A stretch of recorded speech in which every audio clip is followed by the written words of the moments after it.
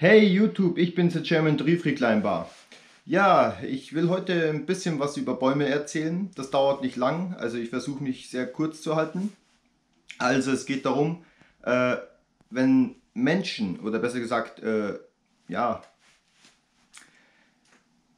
eben Triefriedleinbar, also Leute, die auf Bäume klettern, behaupten, dass sie auf jedem Baum raufkommen, dann ist es natürlich einfach nur so dahergesagt, weil das ist nicht möglich.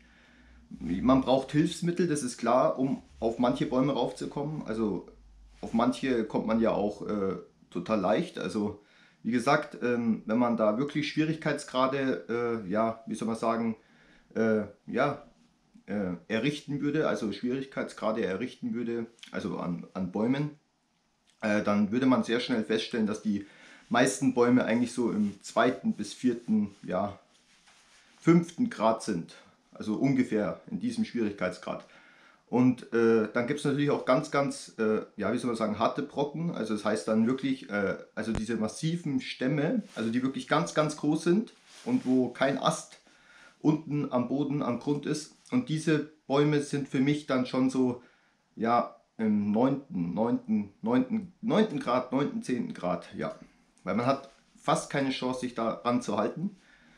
Und ja, dann, wie gesagt, ist, ich habe jetzt nur diese Größe gesagt, diese Größe. Also ungefähr ein Meter, ja, kann man sagen, Durchmesser. Ein Meter Durchmesser bei einem Baum, das ist schon schwer, dann klammert man sich so rum. Aber es geht jetzt um die andere Größe. Es geht jetzt um die Größe, zum Beispiel einen äh, Stammum, Stammumfang von ungefähr 4 bis 5 Metern. Dann ja, kann man sich ausrechnen, wie groß der Durchmesser ist. Also es geht einfach um Bäume, die einen ganz großen Durchmesser haben, wie zum Beispiel 3 Meter. Also da kann man sich als Mensch fast nicht festhalten. Und ich möchte da gar nicht so viel drum reden. Also ich wollte einfach nur sagen, dass man eben bei so Bäumen, die einen sehr großen Durchmesser haben und die auch wirklich ganz groß sind, dass man sich nicht mehr äh, drumherum klammern kann, dass diese Bäume ähm, unmöglich zu besteigen sind. Also man hat fast keine Chance. Also man kann es natürlich probieren, das ist klar. Irgend, irgendwelchen Leuten gelingt es wahrscheinlich auch. Äh, aber mit Hilfsmitteln natürlich. Also komplett freiklettern, also Free Solo, also Free Free Climbing an solchen Bäumen zu verüben, ist sehr, sehr schwierig. Ja, wie gesagt, man kann auch auf Gebäude klettern. Man darf sich bloß nicht von der Polizei erwischen lassen. Äh, man kann auch zum Spaß unten einen Zettel hinschreiben, äh, das ist kein Suizid.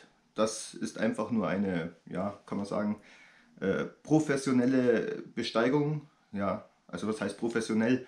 Es geht auch um dein Leben. Es muss nicht, du musst nicht mal ein guter Kletterer sein. Es geht immer um dein Leben. Also du kannst der beste Kletterer der Welt sein und trotzdem musst du aufpassen, dass du eben nicht abstürzt und du kannst auch ein ganz normaler äh, wie, wie sagt man denn so, Laie, Amateur, ein ganz normaler Kletterer, den man halt einfach so findet, der einfach Spaß am Klettern hat.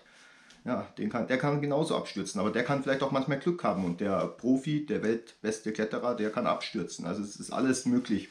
Man weiß es nicht hundertprozentig. Und ja, es gibt auch ähm, so Parcours, Parcours, Free Climbing in den Bäumen oder alles Mögliche. Ähm, ja, äh, wie gesagt, also ich bin da sehr, äh, was das angeht, ähm, ja, sehr, sehr kritisch. Also meine Leidenschaft ist es wirklich auf Bäume zu klettern und wenn es möglich ist, auch auf Wolkenkratzer, auf Skyscrapers, also besser gesagt so auf eben ja, hohe, ähm, kann man sagen, Hochhäuser. Aber das ist natürlich auch ein Risiko, weil hm, man weiß nie, ob äh, vielleicht Öl oder äh, wie, soll man, wie soll man sagen, also es ist sehr schwierig zu beschreiben, weil es erwartet einen manchmal auch dort in den Höhen, also auf, auf Gebäuden oder auch, äh, auch auf Bäumen, eben Überraschungen.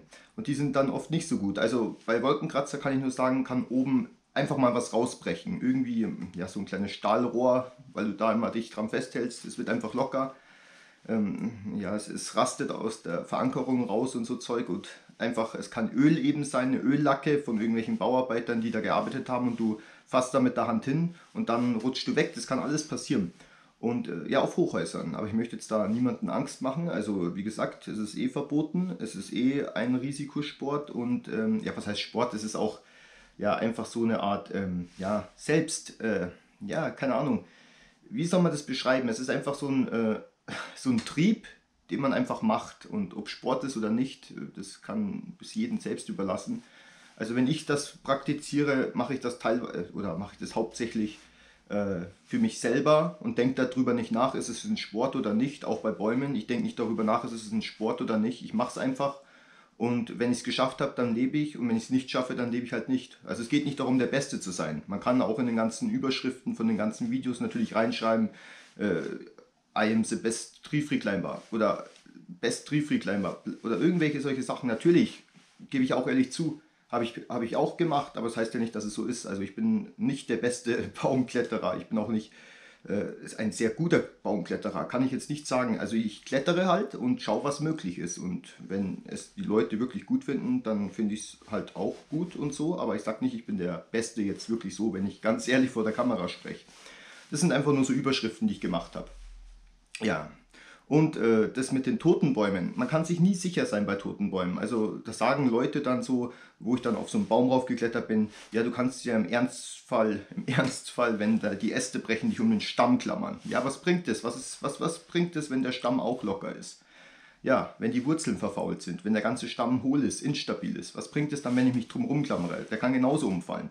Es braucht nur ein leichter äh, Sturm aufziehen oder es muss windig sein. Da geht man eigentlich, äh, besser gesagt, eh nicht auf die Bäume. Das ist eigentlich eben nicht empfehlenswert. Also wer klettert schon bei Sturm. Aber wenn das halt eben passiert, dann hat man da keine Chance. Und darum sage ich, tote Bäume sind unberechenbar. Ich habe ein paar bestiegen. Also das sieht man auf meinem YouTube-Kanal, The German Tree Free Climber.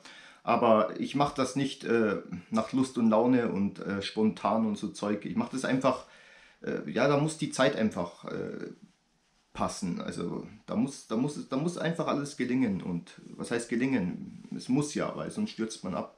Weil es geht, wie schon gesagt, also es geht darum, raufzukommen und äh, eben auch wieder runterzukommen. Und es geht nicht darum, der Beste zu sein, sondern eben es erlebt zu haben, dass man überlebt hat oder dass man einfach sicher wieder am Boden ist, so Zeug.